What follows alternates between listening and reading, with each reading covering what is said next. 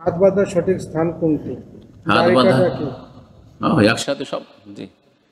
হাত বাঁধতে হবে এক কথায় হ্যাঁ? আর হাত বাঁধার সহি সহি যদি আমল করেন তাহলে বুকের উপর আল্লাহ সাদরে বুকের উপর হাত বাঁধবেন জি।